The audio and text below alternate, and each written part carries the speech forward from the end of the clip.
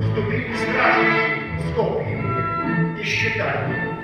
И кто не успел убежать, упали на сами пыль.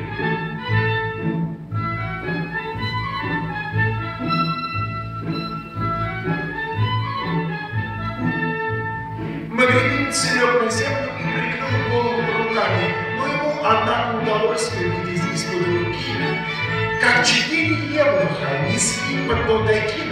царевну Буту. За ней следовали стражники, прикрыв глаза щитами, словно боялись ослепнуть от красоты царевны.